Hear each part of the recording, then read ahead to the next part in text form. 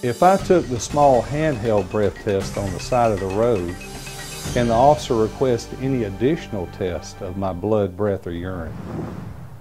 If you took a breath test at the scene of arrest, or what we refer to as a portable breath test, the officer can still request that you submit to additional testing of your blood alcohol level.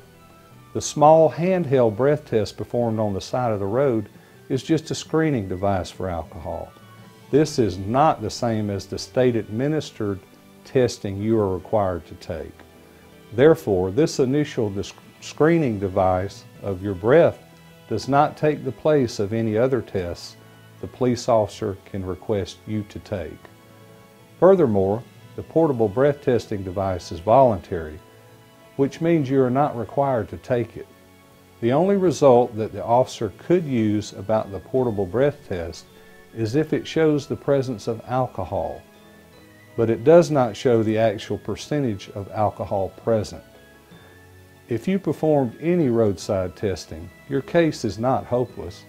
We can help you fight your DUI and work to avoid the consequences of a DUI conviction.